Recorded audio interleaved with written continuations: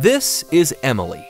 She's organizing an online convention with hundreds of attendees from all over the world.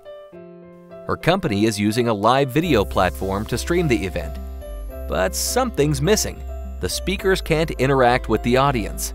So Emily embedded a group chat alongside the event livestream. During the chat, she notices spam messages, profanity, and problematic users. To prevent this from happening, she switched to the moderated chat.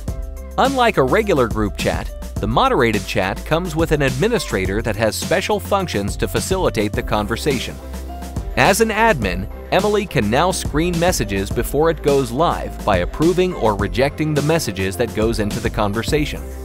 She also has the power to send polls, disconnect specific users, ban their IP, and even mute everyone.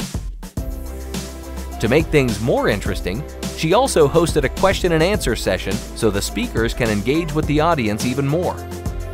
Just before the event was about to end, Emily creates a poll to get a real-time feedback from the audience.